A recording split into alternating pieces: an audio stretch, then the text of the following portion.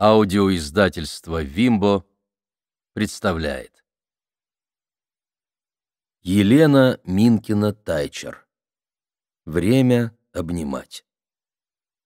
Читает Алексей Богдасаров.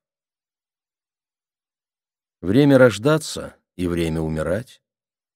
Время убивать и время врачевать. Время обнимать и время уклоняться от объятий. Книга Экклесиаста, глава третья. Детство, отрочество, юность. Виктор. По-настоящему не повезло Виктору только с фамилией. Хотя разве узнаешь заранее, что считать везением? Словно бежишь по футбольному полю, и бац, не сразу поймешь, успешно принял удар головой или просто врезала по лбу. В любом случае фамилия Приходько хорошо бы подошла милиционеру или председателю сельсовета, в крайнем случае заводскому технику. А вот оперному певцу жалкая насмешка, чтоб с рождения знал и не зарывался. Впрочем, в детстве все казалось жалким и невыносимым. И скучные добропорядочные родители, и крикливые соседи, вечно нетрезвые и навязчивые, как летние мухи, и мелкая уличная шпана, пацаны, черт бы их побрал. И сам городок с деревенским названием Колпино являл собою абсолютную вековую скуку и невзрачность. Жалкое убожество рядом с великим городом Петра. Кроме старого завода, навсегда отравившего реку Ижору и как бы в насмешку названного ее именем, ничего стоящего в их городе не было. Вся жизнь вокруг завода крутилась. Музей, больница, библиотека — все называлось Ижорским в честь завода-благодетеля. Говорят, еще петровский любимчик Александр Меньшиков начал тут строительство плотины и мастерских для будущих кораблей. Вот ведь судьба. Из денщика в фавориты царя, и князь, и граф, и генералиссимус. Черт его знает, как это возможно в одной жизни.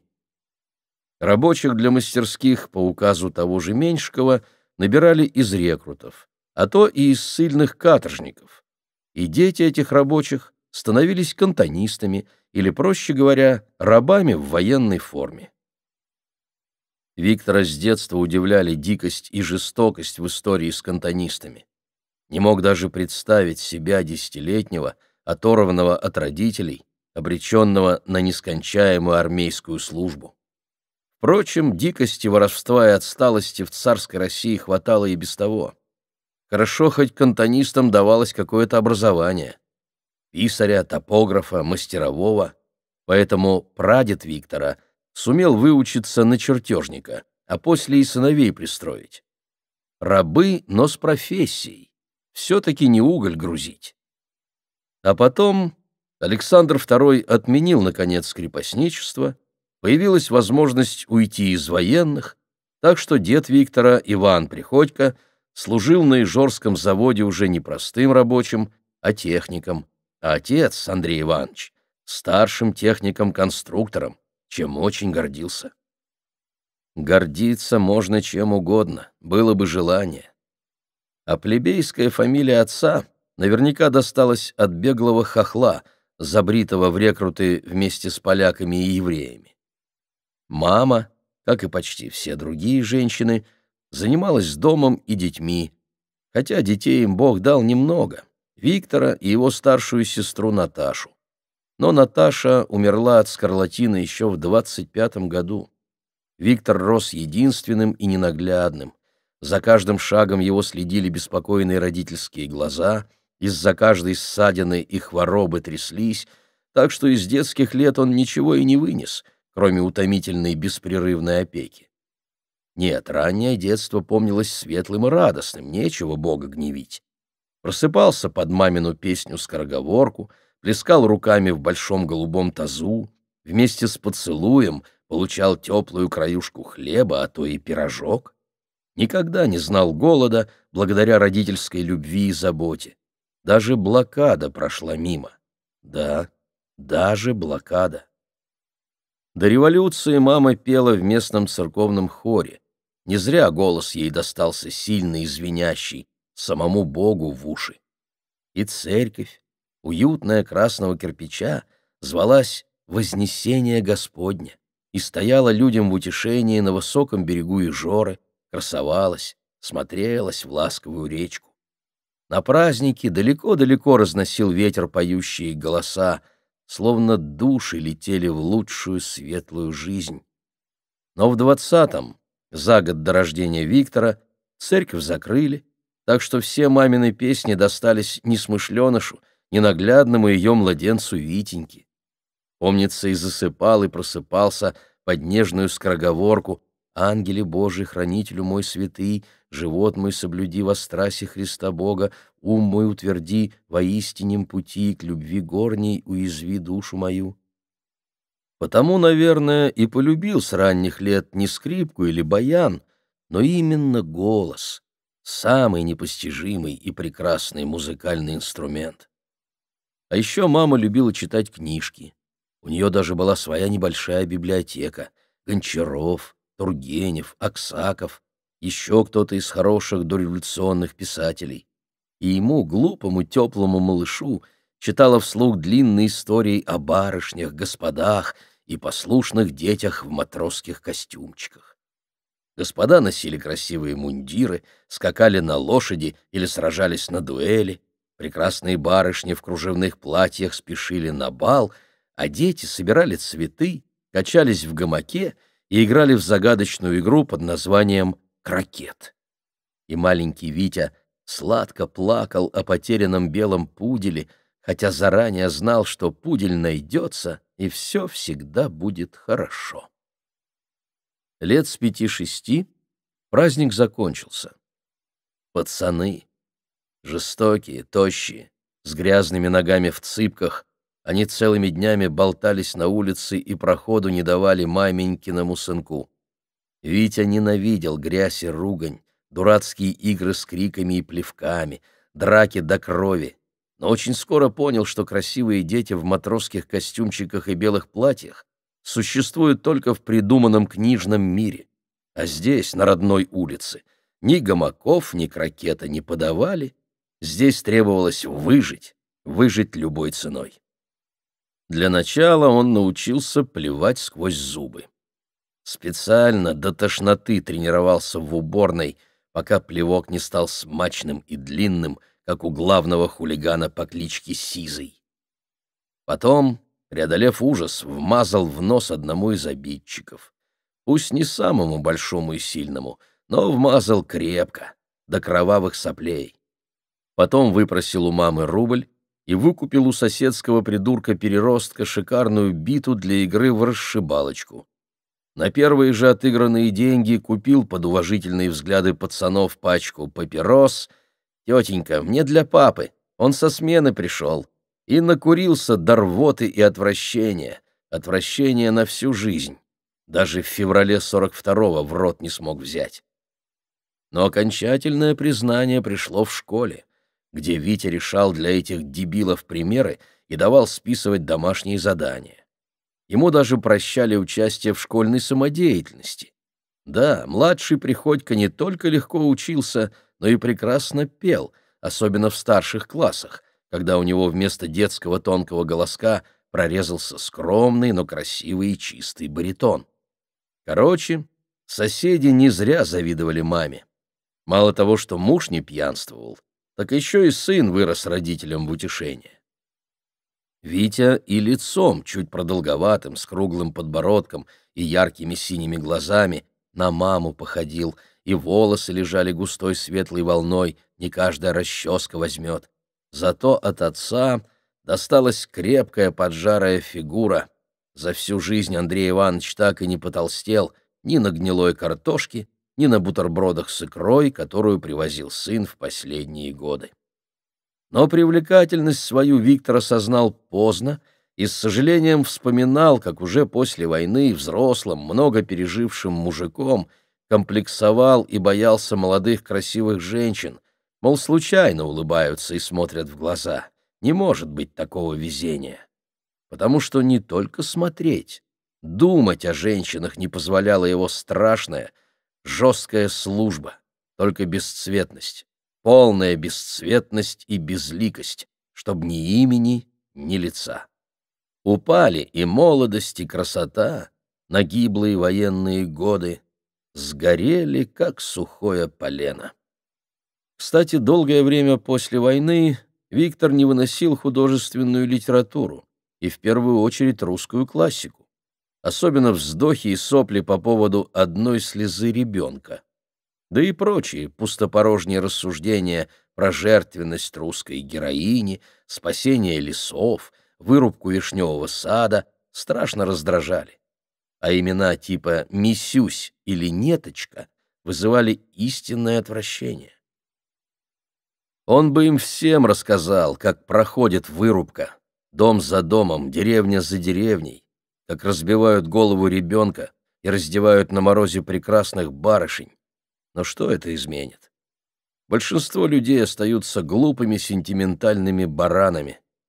Слава богу, когда-то явились на Божий свет Стивенсон и папаша Дюма и подарили нормальному человеку возможность находить в книгах не назидания и липовые трагедии, а простое заслуженное удовольствие. Виктор пять раз прочел графа Монте-Кристо и двадцать пять трех мушкетеров, с любой страницы мог цитировать наизусть. Еще до войны Витя Приходько успел сделать главное дело своей жизни — поступить в Ленинградскую консерваторию на вокальное отделение. Прекрасным летним днем 39 года, не веря своим глазам, он стоял у доски и читал, читал в который раз список поступивших. Павлов, Пономарева, Приходько Виктор Андреевич. Все. Конец скудной жизни при заводе, унылым улицам, соседским песням под гармонь. Мечты, мечты, где ваша сладость? Не прошло и месяца, как радость победы растворилась, словно корабль-призрак в опере Вагнера. Он был принят потому, что добрая пожилая прима-экзаменаторша пожалела красивого мальчика. Но голос... Голос оказался слаб, не мог тянуть высокие ноты, не давались легкость и глубина. Это вам не школьная самодеятельность. К середине года стало ясно, что сольные партии Виктору не светят никогда. Подножка из-за угла, беспредельная подлая невезуха. Он помнил наизусть все баритоновые арии — Фигаро, Демона, Мазепы. Он во сне мог пропеть любую из них от любого такта. Помнил, но не тянул. Подумать только. Сто раз смотрел фильм «Веселые ребята», Сто раз смеялся над барышней, пьющей сырые яйца для улучшения голоса. «Пей, голубушка, пей. Курицей, может, и станешь, но жаворонком никогда». А в чем эта тетка виновата, спрашивается, если она искренне мечтала петь? И чем лучше наглая крикливая героиня Любови Орловой, кстати, так же похожая на простую девушку, как Виктор на китайского императора? И тем не менее люди восторгались Орловой — не слишком молодой, с тяжелой фигурой и глуповатой нарисованной улыбкой. Вышла замуж за гениального режиссера, вот ее главная удача. А если нет удачи, то можно сколько угодно репетировать, тренировать связки, рвать на себе волосы от обиды и унижения. Такой же результат, как от выпитых сырых яиц. Может, зря он так психовал? Ведь первый год проучился нормально, Получил койку в общежитии, экзамены сдал успешно, гармония, музыкальная литература, история партии. Только вокал не дотягивал, не дотягивал хоть лопни. Вот так всю жизнь в массовке обретаться.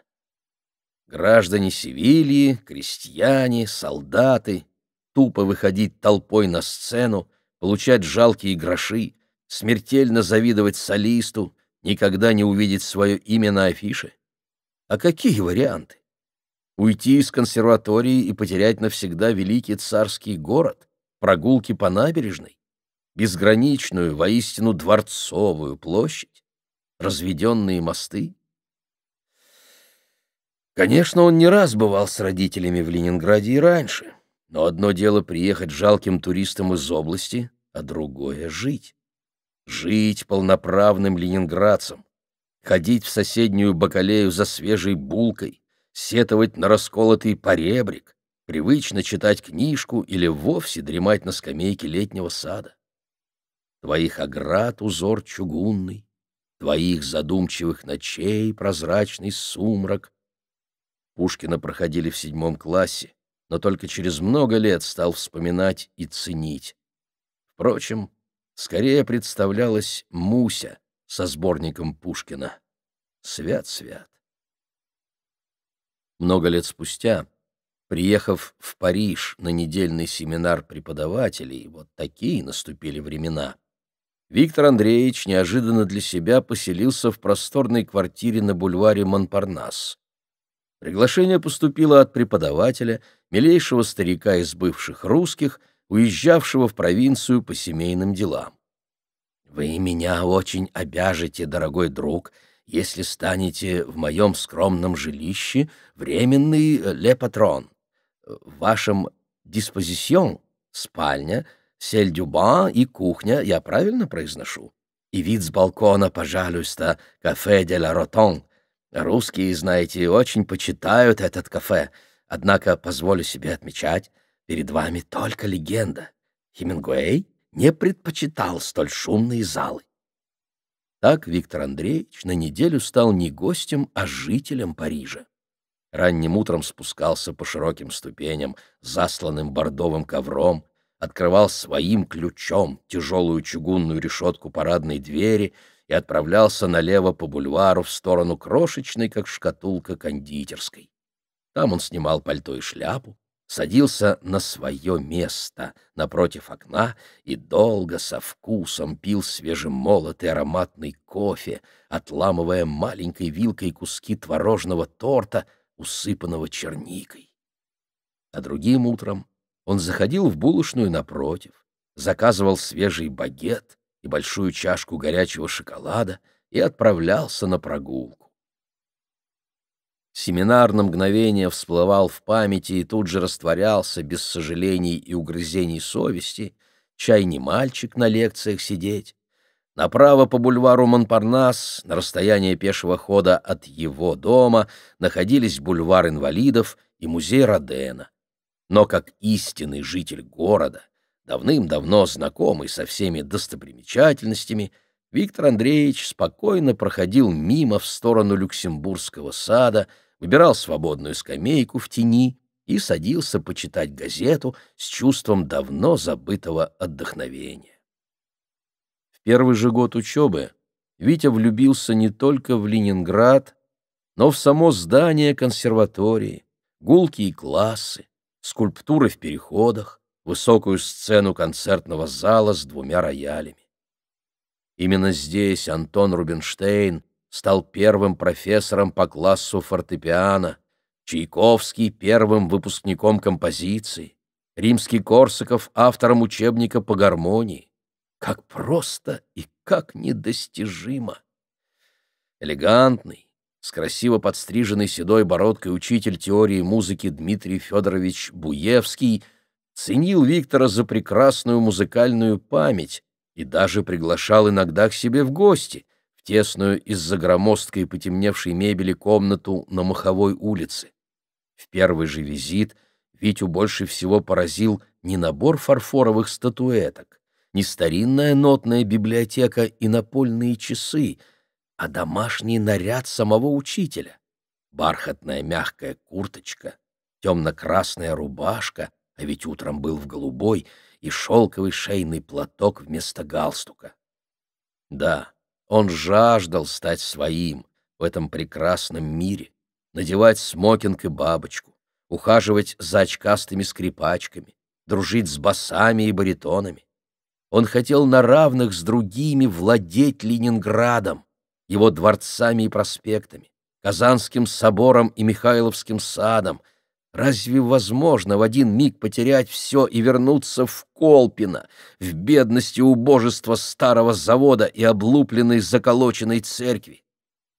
К тому же у него появилась женщина. Первая в жизни и не совсем такая, как мечтал подростком, не загадочная, трепетная и жертвенная красавица, черт бы побрал русские романы, но вполне солидная взрослая дама с прической валиком и полными бедрами. Жанна Петровна, концертмейстер альтов и зампорторга по оргработе. Можно сказать, стихи и проза в одной упаковке. Но все-таки это был настоящий роман, полный секса и страсти. В пустующем вечерами кабинете порторга Жанна тяжелой грудью прижимала Витю к спинке кожаного дивана, обдавала горячим шепотом «Миленький, красавчик!» Ее бесстыдный обнаженный живот, резинки чулок, высоко задранная юбка, запах тела и горячего смешанного с духами пота сводили с ума, но как-то грязно, неправильно. Вожделение ли, отвращение? Лобзай меня, твои лобзанья, мне слаще мира и вина. Интересно, Пушкин серьезно писал такую хрень? Поздним вечером Виктор возвращался в общежитие, долго мылся в неопрятной общей душевой в конце коридора, злился на себя, трогал пальцем опухшую губу. Но через несколько дней опять нервно дрожа пробирался в темноте в нежилое в ночи административное крыло. Может быть, Жанна организовала ту встречу? Хотя зачем ей? Или уборщица донесла? или кто-то из студентов-информаторов. Виктор так никогда и не узнал, но в один из темных осенних вечеров в кабинете порторга его встретила не дама сердца, а вполне заурядный незнакомый мужик, похожий на гардеробщика. И разговор поначалу был заурядный. Как дается учеба, удобная ли комната в общежитии. Даже непонятно, почему Виктор так старательно и подробно отвечал. Вы, конечно, понимаете, Виктор Андреевич, отчество-то он откуда узнал, что музицировать и петь оперные арии — прекрасное занятие, но страна, наша любимая советская родина, окружена врагами и стоит на пороге войны. Это все понимают, — послушно кивнул Виктор и постарался вздохнуть как можно серьезнее. Может, мужик из комитета комсомола? Но зачем? Взносы Виктор платил регулярно, в субботниках участвовал, хотя и терпеть не мог коллективный труд. А если я задам такой вопрос? Готовы ли вы, Виктор Андреевич, молодой, успешный будущий музыкант, совершить ради Родины подвиг? Нет, не геройски сражаться, к этому готов каждый комсомолец и коммунист. Ага, точно из комитета комсомола. А тихо и незаметно служить для ее спасения. Как, кстати, у вас с немецким? Говорят, хороший музыкальный слух помогает в освоении иностранных языков. Я не понимаю, о чем именно вы говорите. По-немецкому у меня еще в школе было отлично. Родину люблю и готов защищать до последней капли крови. Если завтра война, мы готовы в поход. На самом деле Виктор не слишком верил в близкую войну, и совсем не рвался умереть за родину, как ожидалось от его поколения. В тайных мечтах он видел себя кем-то вроде Лемешева. Не зря все знакомые девушки и женщины буквально обмирали от недавно вышедшей музыкальной истории. Выйти на сцену под взметнувшиеся аплодисменты, сдержанно склонить голову в поклоне, постоять мгновение, прижав к груди брошенный из зала букет роскошных темных роз — вот о чем мечтал студент Приходько. Прекрасно. Я в вас не сомневался. Тогда со следующей недели вы начнете посещать преподавателя немецкого языка. Требуется освоить хорошее понимание разговорной речи. Отсюда недалеко. Здание бывшего ремесленного училища. Час занятий с преподавателем немецкого и еще час с опытным специалистом по постановке голоса но все знакомые и сокурсники должны знать только о частных уроках пения. Надеюсь, вы понимаете? Уверен, индивидуальные занятия с опытным преподавателем помогут вам значительно улучшить отметку по вокалу. Да, вы также переедете в другую комнату. Шесть соседей слишком утомительно. Невозможно заниматься, не правда ли? Со следующей недели у вас будет только один сосед. Пока все, Виктор Андреевич. Успехов в учебе. И не забывайте навещать родителей. Вы ведь единственный сын. Гордость и надежда, так сказать. Кстати, не нужно их беспокоить лишней информацией. Он и про родителей все знал. Виктору вдруг стало страшно, и захотелось закрыть глаза, чтобы исчезла, как кошмарный сон, чужая бесцветная рожа. «Простите, э, я не запомнил вашего имени. Борис Иванович». «Простите, Борис Иванович, а нельзя ли мне пока отказаться? В консерватории очень высокие требования. Учимся с утра до вечера, плюс домашние задания. Боюсь, просто не хватит времени и на основные занятия, и на дополнительные».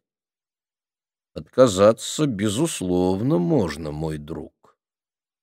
И свободного времени сразу окажется намного больше. Поскольку без постановки голоса вас наверняка отчислят в ближайшее же время. Правда, вы сразу будете призваны в армию, поэтому от службы на благо Родины уйти не удастся. Мы дезертиров не прощаем.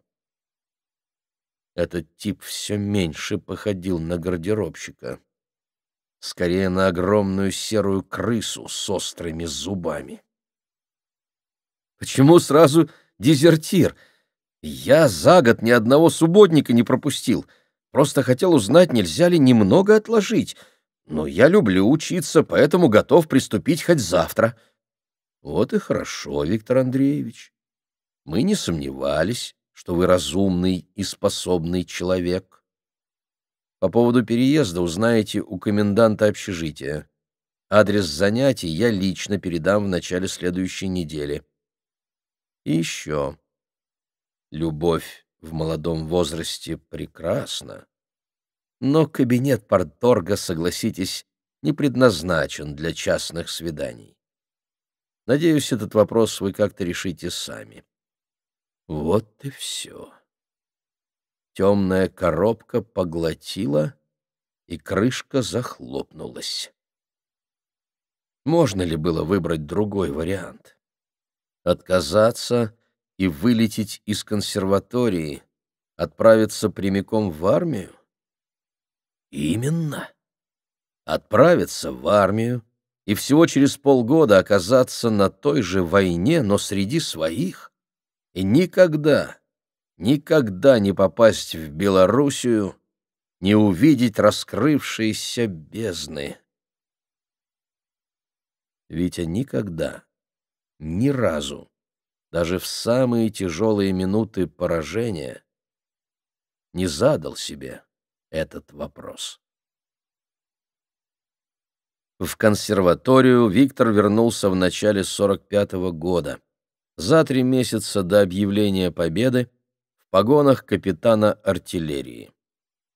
Почему для него выбрали именно артиллерию, капитан Приходько так никогда и не узнал.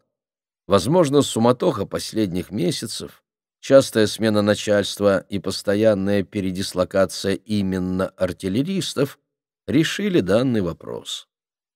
Его сразу восстановили на третьем курсе – а летом того же года перевели на четвертый, хотя к моменту призыва Виктор даже за второй не успел сдать экзамены.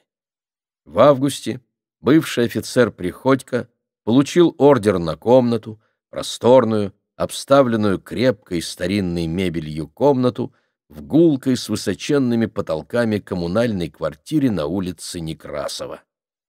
Улицу переименовали давно, и Виктор ничего не имел против известного поэта, хотя стихов его со школы и не любил и не читал. Но старое название «бассейное», где жил человек рассеянный, напоминало детство и казалось проще и милее. Кому раньше принадлежала комната и мебель, никто не сказал, да он и не расспрашивал. Город еще болел блокадой, в асфальте зияли дыры — совсем недавно служившие колодцами, на Лиговке страшным скелетом возвышался остов разрушенного дома, И новые соседи Виктора, высохшие старики и старухи, непостижимо и жутко похожие на останки домов, тихо отсиживались по своим углам и даже в уборную старались выходить пореже. Правда, одна женщина средних лет, медсестра из военного госпиталя, тоже худая, но не такая мертвенно-бледная, как старики, иногда приглашала Виктора к чаю. Витя приносил пачку печенья или конфеты-подушечки, молча сидели за круглым столом, грея руки о синие с золотом фарфоровые чашки, нелепо красивые и неуместные на серой клеенке. И он мог только догадываться по фотографиям на стене, что когда-то здесь жили немолодые, хорошо одетые люди, красивый мужик с ромбиками в петлицах, две маленькие девочки. Иногда Виктор оставался ночевать. Женщина равнодушно раздевалась, прижималась к его груди, гладила шрамы на плечах, также молча, не открывая глаз. Под утро она приносила из общей кухни большую миску с водой и бережно мыла чашки, а потом протирала каждую вышитым полотенцем. По выходным Витя старался уезжать к родителям. Да, и мама, и отец пережили войну, хотя он тысячу раз успел проститься с ними за эти бесконечные три года. Блокада для Колпина началась в последних числах августа. Район оказался буквально на линии фронта, но каким-то чудом продолжали работать как завод по ремонту военной техники, так и хлебозавод, школа, баня и даже библиотека. Правда, летом 42-го местные власти сумели организовать массовую эвакуацию жителей, но его родители остались и продолжали работать вместе с другими ветеранами. Они даже не слишком голодали, потому что при заводе работала столовая. К тому же почти каждый месяц им приносили посылку с крупами и консервами в казенной серой упаковке и без обратного адреса. Что ж, начальство Виктора честно соблюдало правила игры. До самой своей смерти ни мама, ни отец не спросили, как и откуда сын посылал продукты. Слава Богу, ни разу не спросили. Самым непостижимым оказалось возвращение в консерваторию. Занятия возобновились еще в октябре 44-го, поэтому Виктор застал вполне налаженную жизнь словно из грязной, отвратительной избы открыл дверь в залитый теплом и светом дворцовый зал. Правда, не хватало многих знакомых преподавателей. Дмитрий Федорович умер от голода еще в феврале 42-го, кто-то погиб на фронте, кто-то не вернулся из эвакуации, но общая атмосфера сохранилась, а на некоторых факультетах даже почти не прерывались занятия.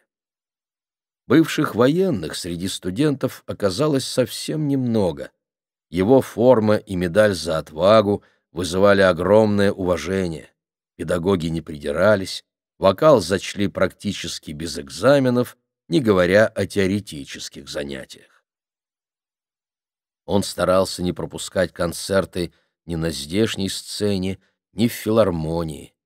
Тогда проклятые три года тонули в блеске софитов, нарядные люди улыбались и аплодировали, и капитан артиллерии Приходько улыбался и аплодировал, как и положено благодарному слушателю. Оставшиеся два года учебы Виктор трудился не за страх, а за совесть. Параллельно вокалу начал посещать занятия на историко-теоретическом факультете, до ночи не покидал библиотеку, читал статьи и воспоминания известных педагогов. Все более высокие оценки украшали зачетку. Все легче становилось на душе. Господи, еще не поздно. Еще ничего не поздно. И никто не удивился, когда выпускнику вокального отделения Виктору Андреевичу Приходько, герою войны и члену КПСС с 1943 года, предложили продолжить обучение в аспирантуре. К сожалению, в том же году в его жизни появилась Муся. Капитанская дочка. Муся. В их доме никогда не было зеркала. Нет, конечно, в кухне над раковиной папа когда-то собственноручно прибил деревянную полочку для мыла и зубных щеток, а над ней жалкий серый квадратик. Если встать на цыпочки и опереться о край стола, получалось разглядеть собственный лоб и скошенные от напряжения глаза. У Муси скучные карии, а у Аськи огромные небесно-голубые с золотыми крапинками вокруг зрачков. Может быть, из-за этой несправедливости мама и не настаивала на настоящем большом зеркале в комнате. Зачем лишний раз подчеркивать ужасную несправедливость? Да, все, буквально все досталось младшей сестре. Длинные ноги, аккуратный даже короче, чем у мамы курносый носик, круглый, как у куклы, овал лица. А Муся получилась исключительно папиной дочкой невысокой, узколицей, с выдающимся еврейским носом и такими же выдающимися, абсолютно ей неинтересными способностями к математике. В общем, ерунда на постном масле. Нет, скорее всего, родители и не подозревали о Мусиных огорчениях. Просто папа не хотел поощрять мещанские привычки у своих дорогих девочек. Ведь слишком заботиться о внешности значит зависеть от вкуса и мнения мужчин. Не зря его дочери родились и росли в свободной равноправной стране, а не в какой-нибудь Германии, где до последнего времени судьба женщины ограничивалась тремя «К» — «Кюхе», «Киндер», «Кирхе» — «Кухня», «Дети», «Церковь». Теперь они получат полноценное образование и равные возможности с мужчинами. И мама, хотя сама вполне благополучно выросла в Германии, соглашалась с папой потому что в первую очередь нужно развивать в девочках скромность и опрятность, а не глупое кокетство и кривляние перед зеркалом. В остальном, надо признаться, их с сестрой жизнь была очень хорошей, даже замечательной. Любящие родители, подружки, пионерский отряд, квартира на Петроградской стороне, пусть и на чердаке, но вообще без соседей, с двумя отдельными комнатами, гулкой кухней и даже собственным туалетом с бачком и длинной металлической цепочкой. Не нужно говорить, что и туалет, и кухню мама содержала в блистательной чистоте, сравнимой разве что с операционной, где через много лет Мусе случилось побывать с приступом холецистита. Что говорить о комнатах? Кружевные салфетки, связанные когда-то немецкой бабушкой Марией, красиво оттеняли темное полированное дерево этажерки, и на каждой стояла фарфоровая фигурка, девочка с котенком, мальчик с дудочкой, юный всадник на лошадке, веселый румяный клоун. Фигурки мама трогать не разрешала, только каждый день тщательно протирала влажной белой тряпочкой и грустно вздыхала. Муся знала, что мама в эти минуты думает об оставленной в Германии семье, и особенно о старшей сестре Митцы, но говорить на эту тему строго запрещалось. За этажеркой прятался диван, на котором спали родители, а всю остальную комнату занимала папина библиотека и тяжелый письменный стол с ящиками. Как жаль, что библиотека сгорела в блокаду, и Мусин внук Артем ничего не застал. В детской комнате стояли две одинаковые нарядные кровати с кружевными накидками на подушках, на Мусиной были вышиты бабочки, а на Асиной большая красная роза. На маленьком столике сидели куклы в нарядных платьях, сшитых мамой из разноцветных лоскутков. Аська обожала кукол, а Мусю больше влекла складная деревянная шкатулка с кружевами, нитками и скользкими блестящими пуговицами. В кухне над буфетом висел радиоприемник. В ряд стояли сверкающие кастрюли, на стене, на полочке рядом с раковиной, теснились накрахмаленные до фарфоровой жесткости полотенца, а на квадратном кухонном столе с дверцами и ящиками мирно гудел примус. Со временем папа даже раздобыл настоящую чугунную ванну и с помощью дворника дяди Алексея установил ее в кухне за занавеской. И эта занавеска — единственное, что менялось в Мусиной жизни с течением лет. Сначала плотная белая клеенка, потом бывшая мамина скатерть, расшитая розами, и, наконец, кокетливая нейлоновая штора в мелких цветочках, купленная в 70-е годы в Праге недолговременным Мусиным зятем. Папа приходил домой поздно вечером, только и успевал поцеловать дочек перед сном и погружался в чтение книг или писал сам в толстые тетради, стремительно подчеркивая отдельные слова и заполняя страницу за страницей странными буквами. Муся уже знала, что папа пишет и читает на немецком языке, но рассказывать во дворе или школе так же строго запрещалось, как про мамину сестру. Много позже, после снятия блокады, возвращения в Ленинград и бесполезных поисков папиной могилы, Муся задумала написать о папе книгу. Почему книгу?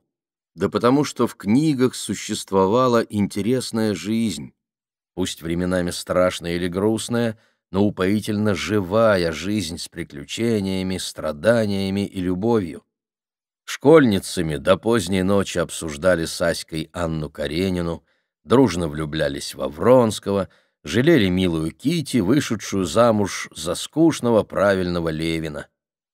Потом в их жизнь вошла тургеневская Ася, неточка Незваного, навсегда обожаемый Чехов.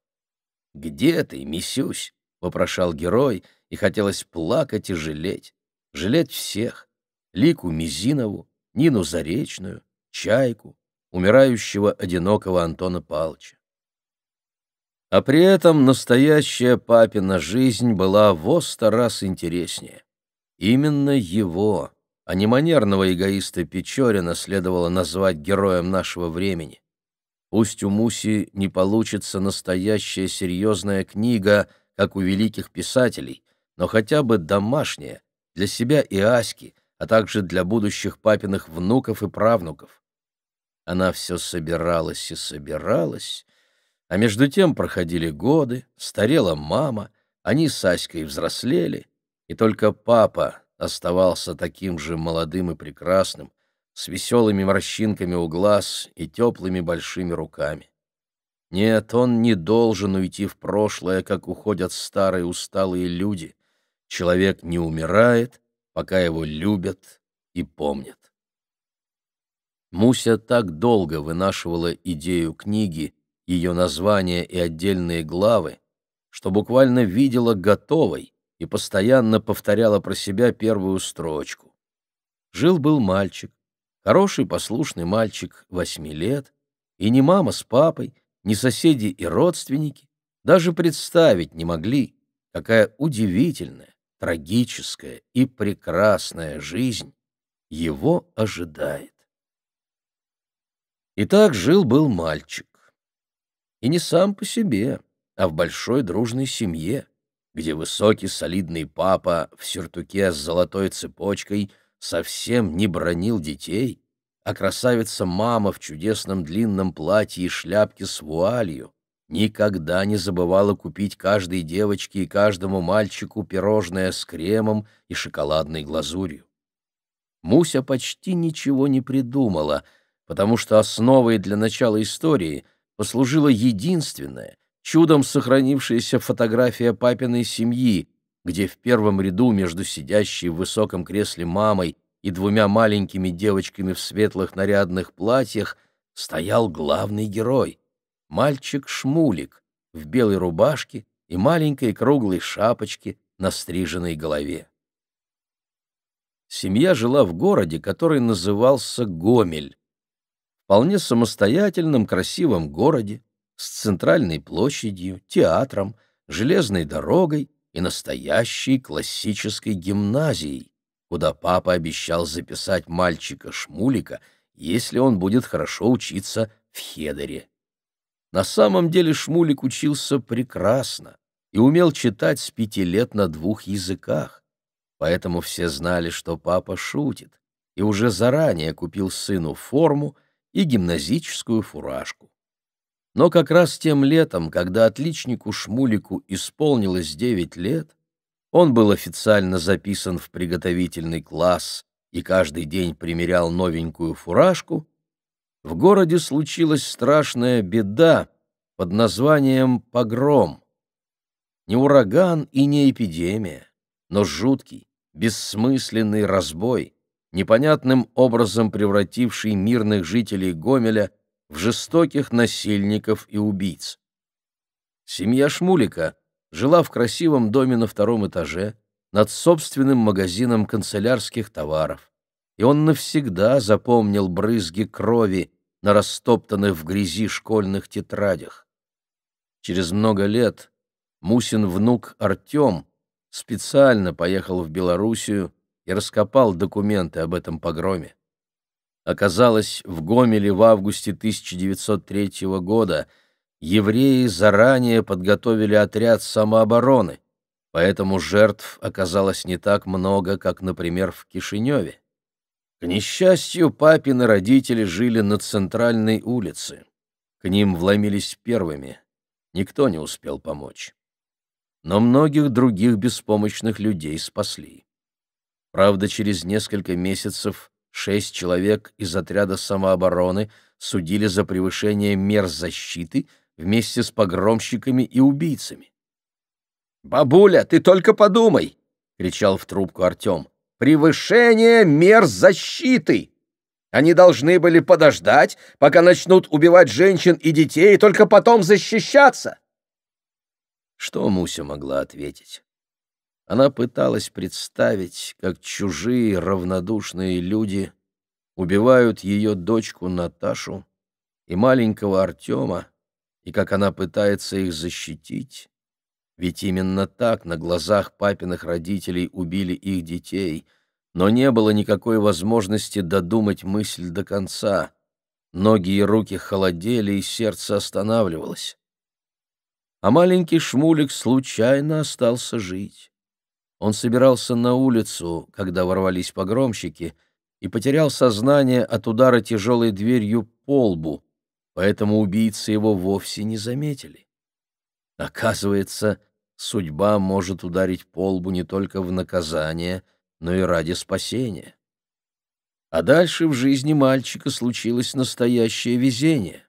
Да, везение хотя Шмулик еще не знал, что радость и беда частенько шагают рядом, и поэтому даже не мог представить, что еще когда-нибудь в жизни рассмеется или обрадуется.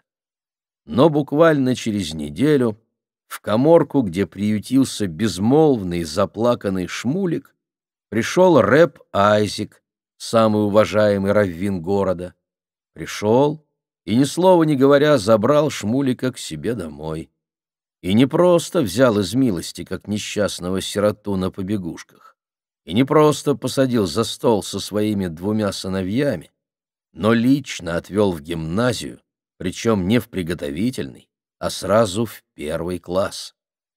А еще через восемь лет, весной 1911 года, тот же рэп Айзек объявил по всей городской общине благотворительный сбор денег, для продолжения обучения в высшей школе выпускника гимназии и золотого медалиста Самуила Шнайдера.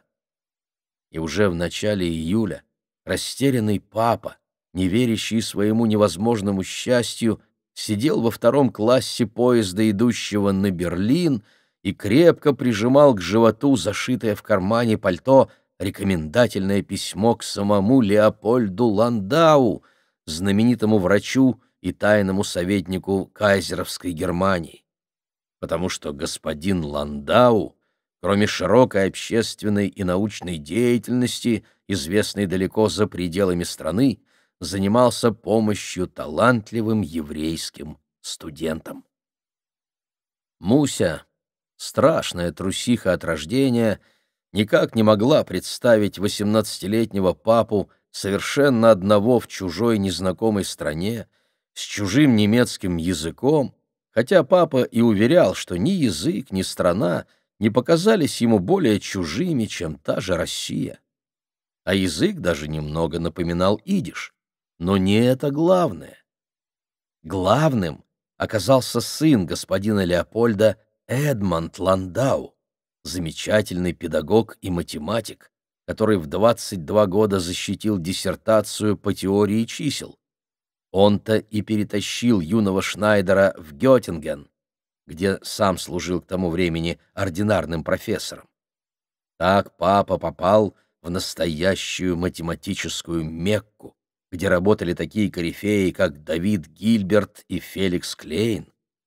На этом самом месте впервые наметился провал Мусиной прекрасной затеи. Речь шла об одном из самых важных переломных моментов в истории Шмулика, но как описать его в книге, если она категорически не понимает, кем был Гильберт и что такое теория чисел? Она решила пока пропустить сложный участок и перейти к главному результату учебы в Германии. Мальчик-сирота из небольшого малоизвестного города в Белоруссии стал великим ученым не хуже немецких знаменитостей и тоже получил звание профессора. Да, защитил диссертацию и стал профессором математики. Мудрый рэп Айзек не ошибся в своем приемше. Невозможное счастье — сидеть с нарядной веселой мамой и смеющимся папой за столом, накрытым твердой белоснежной скатертью, и держать в руках искрящуюся тонкую рюмку. Обычно мама не разрешала трогать парадную посуду, а тут щедро налила полные рюмки густой домашней наливки себе и папе, и даже Мусе Саси дала лизнуть терпкой сладкой жидкости, от которой загорелся язык и защипала в горле. Пятнадцать лет совместной жизни мамы и папы — вот что они отмечают. Мусе десять лет. Она все прекрасно понимает, не то что шестилетняя Аська. Понимает и не понимает, что проживает один из лучших дней своей жизни. А тем временем мама в чудесном в оборках крепдышиновом платье несет из кухни яблочный пирог с иностранным названием «Шарлотка», а папа в белой рубашке обнимает Мусю, свою любимую старшую дочь, и начинает рассказывать, как поселился в Геттингене в скромном частном пансионе. Итак, сразу по приезде в Геттинген Шмулик, или, как его звали теперь, Самюэль Шнайдер, по совету одного из студентов снимает комнату в частном пансионе. Ему еще никогда не случалось жить самостоятельно. Непонятно, как решать простейшие бытовые вопросы — питание, стирку, чистку обуви, но, к счастью, хозяйка пансиона, строгая фрау Мария, обещает помочь. Фрау содержит пансион уже семь лет, и гер Самюэль, без сомнения, найдет все необходимые удобства, порядок и чистоту. Проживание включает домашние обеды и ужины, приготовленные самой фрау, а ее дочери отвечают за уборку, смену постелей и прачечную. Лучше не вспоминать, как боялся Шмулик неулыбчивой хозяйки в вышитом длинном переднике и белоснежной блузе с оборками и ее насмешниц дочек. Дочек было три — Митцы, Биата и Лора. Аккуратные, хорошенькие девочки в ситцевых платьях, пахнувших лавандой, вежливо приседали при виде юного студента и постоянно затевали мелкие, но коварные издевки. То подавали две ложки к супу, то, наоборот, прятали нож для резки мяса, однажды насыпали полную солонку отборного белого сахара и аккуратно поставили напротив шмуликовой тарелки, так что ему, любившему подсолить еду, пришлось весь вечер давиться сладкими огурцами и котлетами. Особенно доставалось юному постояльцу от средней дочери, четырнадцатилетней Биаты. Однажды за ужином она даже ухитрилась привязать ногу Шмулика к ножке стола тонкой розовой ленточкой, и он, вставая из-за стола, чудом не опрокинул всю посуду. Нет, не подумайте, что наш постоялец хотя бы раз наябедничал. Наоборот, в маленькой дешевой лавке за углом Герс Самюэль накупил смешных носатых троллей и каждую субботу незаметно оставлял одного под накрахмаленной салфеткой, что вызывало у сестер неизменный тихий восторг. Самое забавное, что фрау Мария и девчонки оказались его однофамильцами. Да-да, все они были Шнайдерами. Так и значилось на вывеске над парадной дверью «Фрау Шнайдер. Меблированные комнаты, домашние обеды». «Да-да», — рассказывала фрау Мария, — «ее свекор не зря носил фамилию Шнайдер, и он, и оба сына славились портняжным искусством. Но после смерти бедного Генриха и его брата Карла во время эпидемии инфлюенции безутешный свекор закрыл модный магазин и вскоре сам покинул грешный мир. Поэтому одинокой вдове ничего не оставалось, как открыть пансион. Благо девочки воспитаны в любви к труду и порядку. Дом на самом деле сверкал чистотой, но мужской руки явно не хватало и Самюэль постепенно подключился к более грубым работам. Разгрузки угля и продуктов для кухни, перестановки мебели, мелкому ремонту. За это фрау Шнайдер, ничего не говоря, снизила наполовину помесячную плату, что стало несказанной подмогой и избавила от поисков более дешевого жилья. Многие вовсе считали, что студент Шнайдер живет у родственников. К тому же профессор Ландау предложил Шмулику двух учеников для дополнительных занятий математикой, немного туповатых, но зато из очень обеспеченных семей.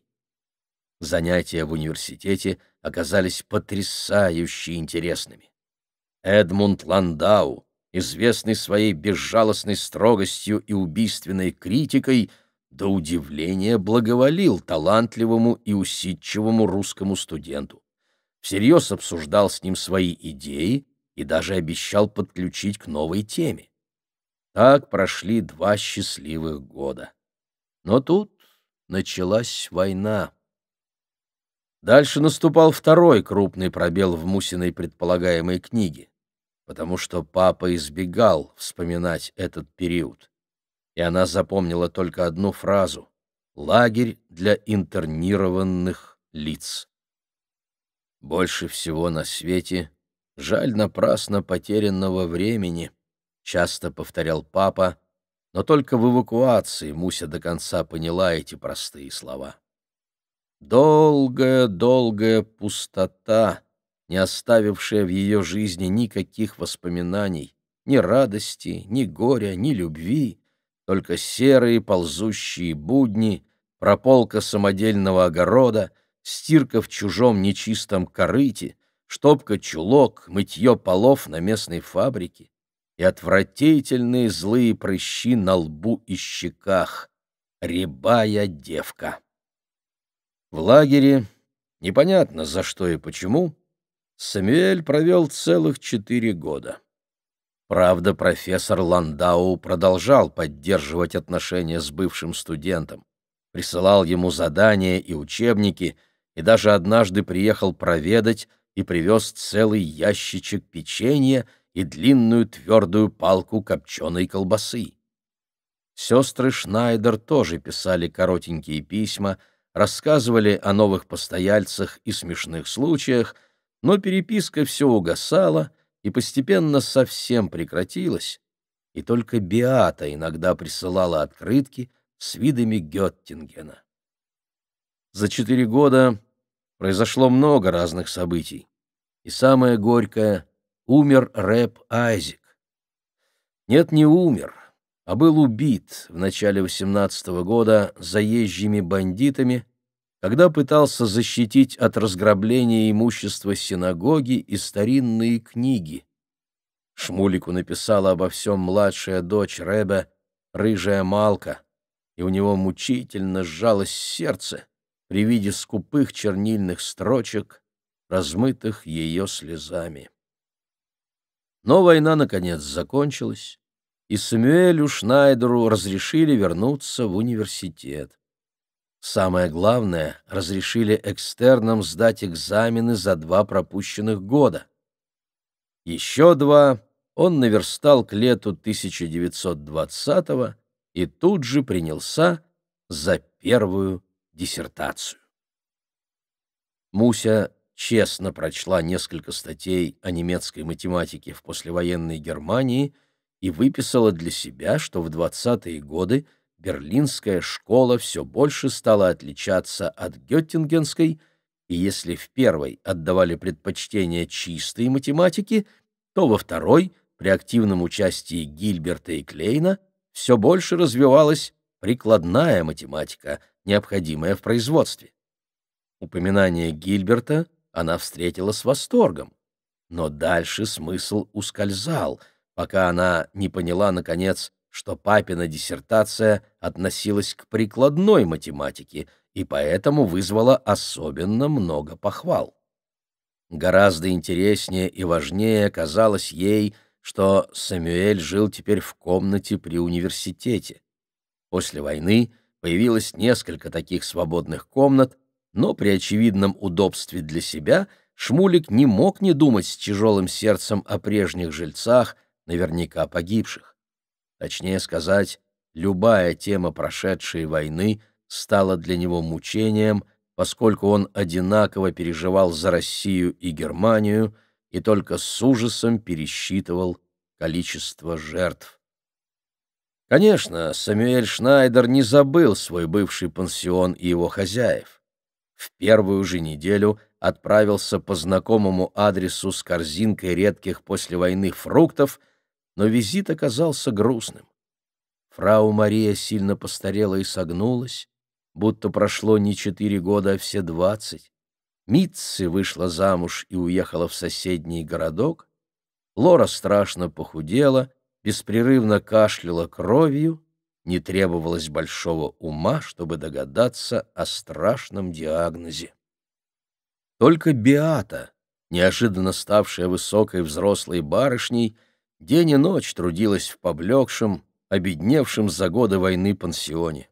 Она страшно обрадовалась Герру Шнайдеру, покраснела до ушей, убежала на кухню, но тут же вернулась, ахнула, опять убежала и опять вернулась, на этот раз с куском домашнего пирога на праздничной фарфоровой тарелке. Шмулик вдруг заметил, какие у нее огромные серые глаза, милый курносый нос, красивые полные руки, туго заплетенная и перевязанная шелковой синей лентой коса оттягивала голову, как на старинных картинах, длинный передник подчеркивал талию. Ему стало неловко замятый сюртук и не слишком свежую рубашку, хотя никогда раньше подобные глупости не приходили в голову. С того дня они стали встречаться.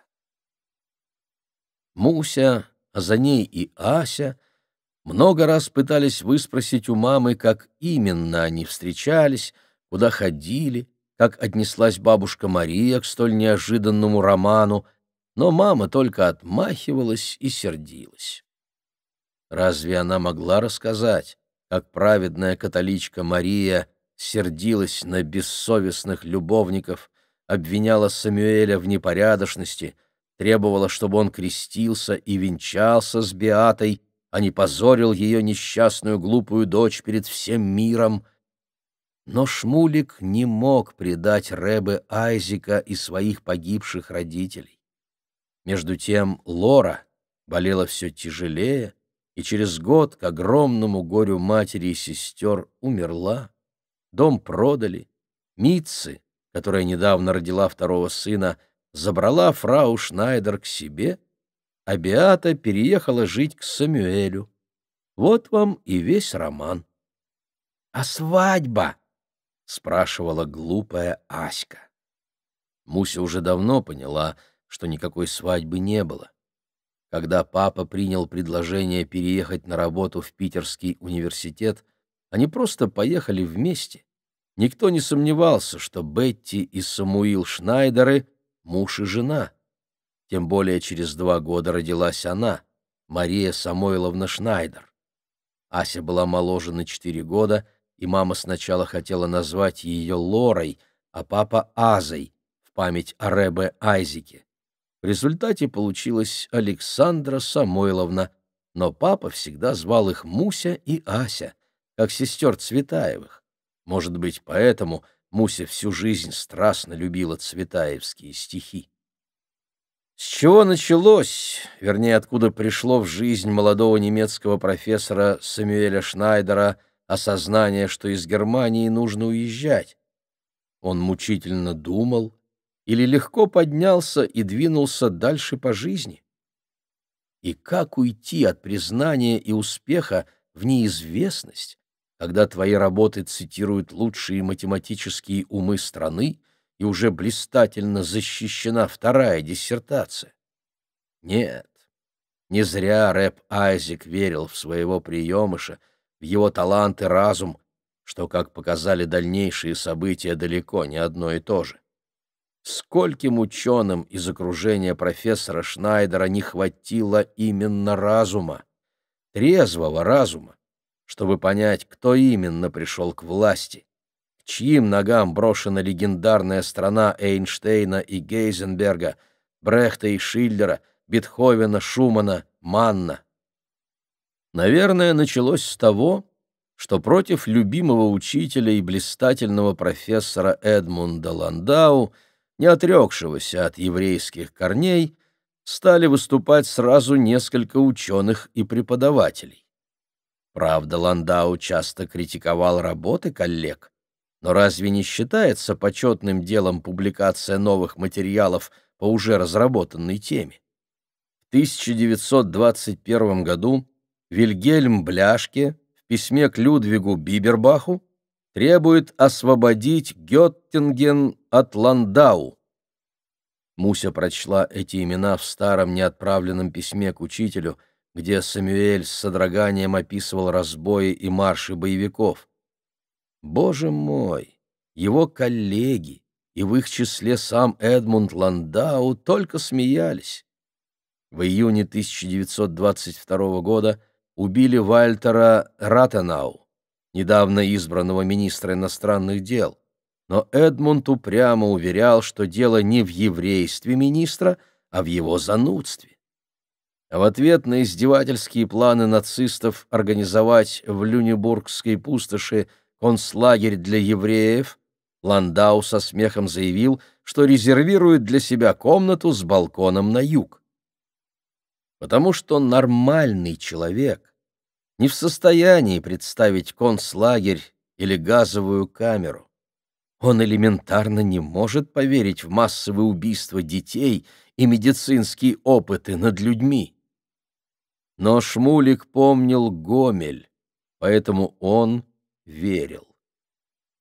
Конечно, у молодого профессора Шнайдера была возможность уехать в Соединенные Штаты или Британию, или даже в Иерусалим, где строился первый в мире еврейский университет. Но тогда требовалось расстаться с Беатой. Беата, его единственный близкий человек во всем мире, его отчаянная девочка, презревшая условности и гнев матери, она оставалась католичкой и не могла официально выйти замуж за еврея. Самюэль Шнайдер и Беата Шнайдер любили друг друга, но Бог говорил с ними на разных языках. Расстаться с Беатой и продолжить карьеру в благодатной и безопасной Америке? Разве он смог бы жить после такого предательства. И тут случились два события, которые полностью перевернули жизнь будущих Мусиных родителей. В ноябре 1923 года в старинном красивом городе Мюнхене, столице Баварии и пива, разразился печально известный пивной путч под руководством бывшего ефрейтора Адольфа Гитлера. А недели и позже на заурядной математической конференции в Берлине к Самюэлю неожиданно подошел и заговорил на русском языке элегантный, лысоватый и совершенно незнакомый человек. Абрам Федорович Иоффе, академик Академии наук СССР. Дальнейшее Муся знала со слов мамы, которая всю жизнь считала Абрама Федоровича своим личным спасителем. Молодой человек, наслышан о ваших успехах, давно наслышан. Но скажите, мой дорогой, как можно в ваши годы прозябать в чужой стране, когда на родине такие потрясающие перемены? Как где? В Петербурге, конечно, то есть, пардон, в Петрограде. В частности, год назад на базе организованного вашим покорным слугой физико-технического отдела создан институт. Да-да, Государственный физико-технический рентгенологический институт. И нам позарез нужны грамотные математики. Конечно, пока в стране много трудностей, но какие перспективы, какой простор для ученого. Кстати, вы хотя бы знаете, что нет больше черты оседлости, религиозных браков и прочих дикостей? Вам и вашей жене будет предоставлено жилье в Петрограде. Об этом я лично позабочусь. Через десять дней они уехали в незнакомый прекрасный Петроград. И этот город с его превысившими все ожидания дворцами, мостами и проспектами, набережными и оградой летнего сада, стал для скромной Биаты утешением и любовью на всю ее оставшуюся долгую жизнь. Да, особенно ограда, роскошная, невозможной красоты строгости кованая решетка, придуманная немцем-архитектором Фельтоном для другой немки, блистательной, великой российской императрицы. Я к розам хочу в тот единственный сад, где лучшее в мире стоит из оград, Именно после этих стихов Биата так полюбила Ахматову и передала свое восхищение и поклонение обеим дочкам. Как и обещал Абрам Федорович, профессору Шнайдеру сразу предоставили собственную квартиру, правда, без ванной и на чердаке, но совершенно отдельную, из двух комнат и просторной кухни с умывальником. Самюэль тут же начал работать в новом институте и даже ни разу не возник вопрос с документами и национальностью Биаты. Благодаря одинаковой фамилии их везде принимали за супругов, ее даже записали еврейским именем Бетти, что значит «любящая Бога». А вероисповедание вовсе не имело значения, его не записывали в паспорте. На этом Мусина книга заканчивалась. Дальше начиналась реальная жизнь ее семьи, где и она, и мама, и Ася твердо знали, что впереди Самуэля Шнайдера ждут новые достижения и победы. Конечно, ни Муся, ни десятилетняя Аська не могли понимать, что происходит в жизни страны, откуда появилась и стала нарастать всеобщая подозрительность. Даже в любимых книгах Аркадия Гайдара неведомые враги то и дело пытались навредить советской родине и убивали солнечного мальчика Альку, как убили всеми любимого Сергея Мироновича Кирова. И Муся в самых тайных мечтах выслеживала таинственного предателя, бросалась ему на перерез и спасала Альку в самую последнюю минуту. Несусветная глупость потому что она даже дворника смертельно боялась. Самое ужасное, что папа тоже многого боялся. Муся давно заметила, что папа боится писем, разговоров с соседями, незнакомых людей в подъезде и особенно звонков в дверь. В один ненастный осенний день он собрал и сжег в новой ванне почти все свои немецкие тетради. Девочкам строго-настрого запретили рассказывать и даже друг с другом упоминать, что родители когда-то жили в Германии. И никакой бабушки Марии, никакой тети Митцы с сыновьями. Аська даже расплакалась, потому что давно мечтала, что бабушка приедет в гости и привезет им такие же чудесные игрушки, как у мамы на этажерке.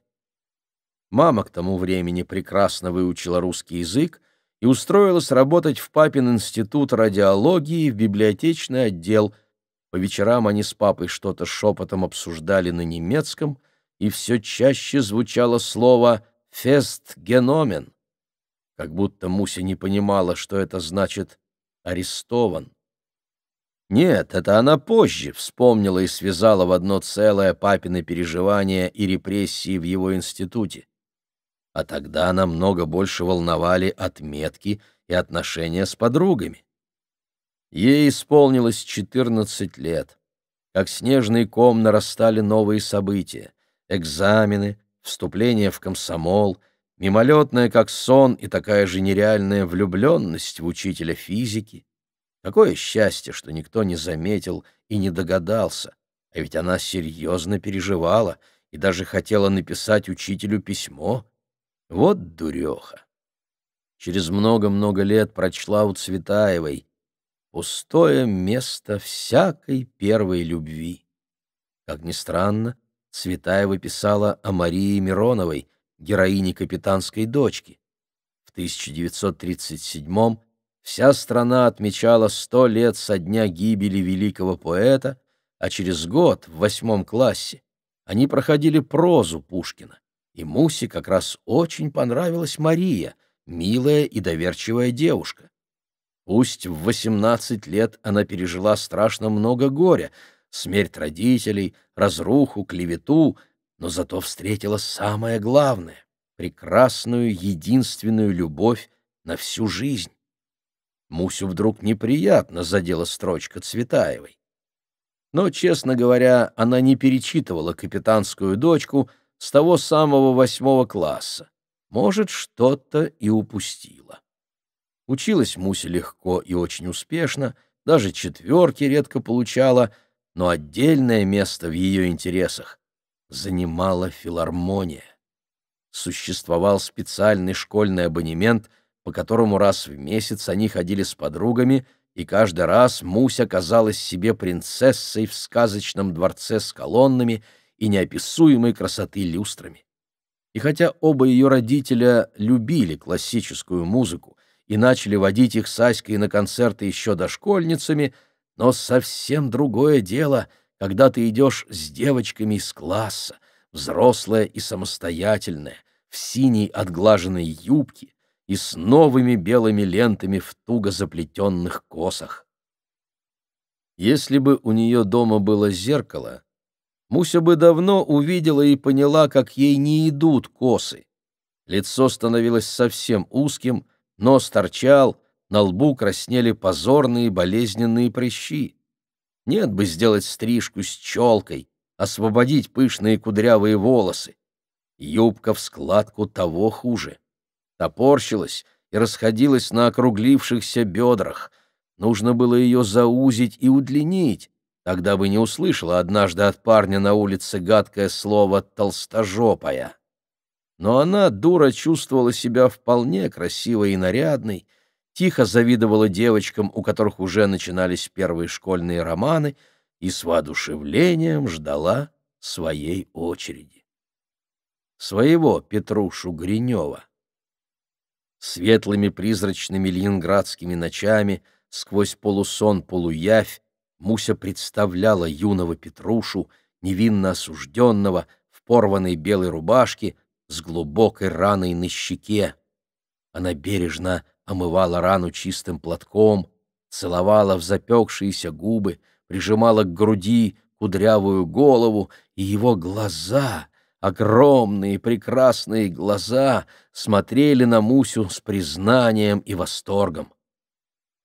А тем временем арестовали папиного коллегу, начальника отдела, потом еще нескольких ученых-радиологов, Ужас незримо витал в их доме, и однажды утром папа не смог встать с постели из-за сильной боли в лопатках, которая почему-то отдавала в шею.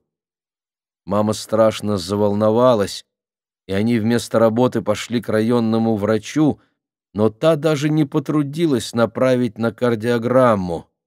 «Разбаловалась наша интеллигенция. Чуть что на службу не идем. А ведь ни температуры у вас нет, товарищ Шнайдер, ни кашля. Что прикажете писать в карточке? И больничный не могу дать, нет оснований. Ну, так и быть. Вам на один день выпишу, а супруги и не просите. По уходу за ребенком даем, а за мужем еще закон не вышел. За мужем в свободное время надо ухаживать. Мама поспешила на работу, а папа вернулся домой и через два часа умер. Как раз девочки вернулись из школы, в коридоре горел свет, играло радио, и Аська даже не сразу поняла, почему Муся так ужасно кричит и плачет. На следующий день с утра мама отправилась в единственную в городе синагогу на Лермонтовском проспекте и попросила похоронить папу по еврейскому обряду.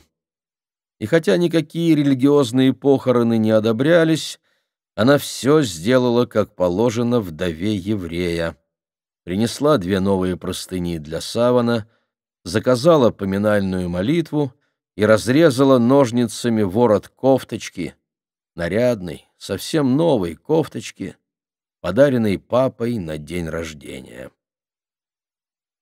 Квартиру им оставили. Маме даже немного повысили зарплату в библиотеке института — но Муся все равно решила, что сразу по окончанию школы пойдет работать, а учиться поступит на вечерний. Только не могла решить, куда именно — в политехнический или в Литмо. Мама, всегда высокая, строгая и красивая, вдруг сделалась маленькой и тихой, не требовала идеального порядка в комнате, не ругала за позднее возвращение. Впрочем, кроме филармонии, сестры почти никуда не выбирались. Муся записалась на вечерние курсы машинисток и вскоре получила первые заказы от сотрудников института. Правда, она так боялась насажать ошибок, что печатала слишком медленно, приходилось засиживаться до глубокой ночи. В школьной программе Пушкин сменился Лермонтовым, совсем другим, чем в младших классах, не автором Бородино, о метущемся страдающем Печорином, страдающим и жестоким. Она с ужасом пыталась примерить на себя участь Беллы или того хуже княжны Мэри, и в конце концов решила, что Лермонтов-Печорин — бессердечный, бесцельный странник, вот и все. Что ищет он в краю далеком? Что кинул он в краю родном? Она даже хотела выступить на уроке литературы, но вспомнила учебник «Гнет самодержавия», «Образ лишнего человека» и не стала. Через год она окончит школу, избавится от обязательной программы по литературе, встретит новых друзей-студентов, и начнется новая прекрасная жизнь. Но через год началась война. Институт радиологии эвакуировали в Самарканд со всеми сотрудниками и их семьями. И хотя Муся страшно не хотела ехать, кричала на маму, что не готова покинуть Ленинград в беде, что нужно вывозить Аську, а она уже взрослая, скоро 17 лет, но мама настояла и таким образом спасла ей жизнь. Потому что практически все их ленинградские знакомые – и все Мусины одноклассники, оставшиеся в городе, умерли в блокаду. А она только потеряла четыре года, как папа когда-то, четыре прекрасных цветущих года юности и любви. Они вернулись летом 44-го. Слава богу, сотрудникам института не требовался вызов от родственников, как другим эвакуированным. Любимый, самый прекрасный на земле город, встретил разломанными тротуарами и серыми, похожими на скелеты остовами погибших домов. Особенно пострадали деревянные постройки. Их сожгли умирающие от холода блокадники. Но филармония полностью сохранилась. Там даже давали концерты. Какое счастье! И дом не пострадал. Два дома на Лахтинской, в начале и рядом с проспектом, оказались полностью разрушенными, а их стоял как вкопанный и подмигивал пыльными окошками любимого чердака. Только библиотека сгорела. Не случайно сгорела, а была сожжена соседями. милой пожилой парой с нижнего этажа. Перед отъездом мама оставила им ключи, чтобы присматривали за порядком и поливали розу. Розу мама любовно растила многие годы в большом глиняном горшке, и каждое лето начинались волнения, расцветет или не расцветет. В год папиной смерти не расцвела. И на следующий год тоже. А перед самой войной налился прекрасный бутон, вот-вот вспыхнет ярким алым цветом. В декабре 41-го, когда наступили смертельные холода, соседи сожгли в домашней печке собственную мебель и деревянные перила от лестницы и перешли на папину библиотеку.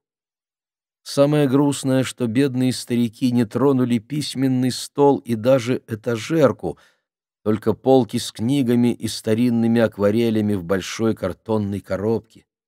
То ли стол казался им более ценным, то ли книги лучше горели. Говорят, они продержались до весны и умерли уже с наступлением теплых дней. Такая вот несправедливость. А в остальном квартира почти не пострадала. Даже знаменитая ванна возвышалась в кухне, засыпанная штукатуркой, но совершенно целая — Оставалось только повесить новую занавеску, а в углу между диваном и этажеркой мирно ждал осиротевший, но тоже целый цветочный горшок. На семейном совете решили, что обе сестры поступают на дневной. Мусе уже исполнился 21 год, время стремительно уходило. Тем более она могла подработать машинисткой, и какая-то стипендия полагалась. У многих студентов были гораздо худшие условия. Муся все-таки выбрала Литмо, а Ася — филфак педагогического, подальше от математики. Вот такие смешные получились родные сестры, нарочно не придумаешь. Асе исполнилось семнадцать, и она так выросла и похорошела, что только отсутствие зеркала спасало старшую сестру от отчаяния. Ни таких длинных ног, ни мечтательных голубых глаз ей не досталось, и ростом Ася стала на полголовы выше, и белокурые волосы рассыпались по плечам, как у киноактрисы. Никто не удивился, когда за ней стали бегать все три мальчика из группы, так что остальным двадцати девочкам оставалось завидовать и посмеиваться над собой. Филфак он и есть филфак. А у Муси в группе оказалось две трети мальчишек и хотя никто из однокурсников не торопился ухаживать именно за ней, общее внимание утешало и дарило иллюзию романтических отношений. Но главное, в ее жизнь вернулась филармония. Все тот же навсегда любимый зал с люстрами, ложи, колонны, темно-красные портьеры, странное волнующее чувство восторга и ожидания не музыка, а сама душа ее томилась и звала, вот в чем дело. К счастью, косы и дурацкие юбки остались позади. На первый послевоенный день рождения мама отвела Мусю к частной портнихе и велела перешить из своего выходного сарафана и старой блузки вполне нарядное милое платье с двумя наборами манжет и воротничков, простым и кружевным. Волосы совместными с Асей усилиями постригли и накрутили крупными локонами, как у актрисы Ладыниной. Голодное, смешное и радостное время надежд и ожиданий. Весной 46-го года, в один из особенно чудесных, томительных, овеянных запахом сирени вечеров, она и познакомилась с Витей. Непостижимо, но они случайно оказались рядом на концерте. И в тот же миг насмешливый бог любви хорошо прицелился и влепил стрелу прямо Мусе в сердце. И она сразу перестала дышать и только косилась завороженным взглядом на белокурого офицера с утонченным благородным лицом и нервными руками музыканта. Исполняли времена года Вивальди.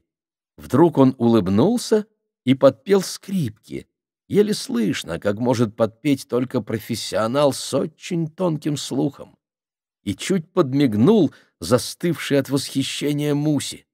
Боже, как он был хорош! Как разительно отличался от Мусиных заурядных однокурсников!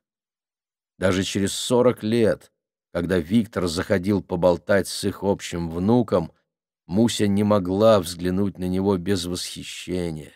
Восхищения и привычной застарелой боли.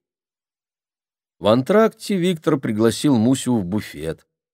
Наверное, она казалась очень смешной и трогательной в своем безудержном, заметном на расстоянии километра восторге. Или платье и прическа так удачно совпали, или просто у него было хорошее настроение. Муся так и не вспомнила потом, что они заказали и о чем говорили. Она боялась взглянуть на его лицо, откинутые со лба волосы, руки с длинными пальцами. Да что там взглянуть? Она дышать боялась. Особенно, когда услышала, что он заканчивает консерваторию и уже получил направление в аспирантуру. Бог, сошедший на грешную землю и заговоривший с простой девушкой. Что было потом? Какая разница, что было потом? Она просто плыла по воздуху, как на увиденных много позже картинах Шагала, парила и утопала, не думая о маме и учебе, не чувствуя голода и жажды.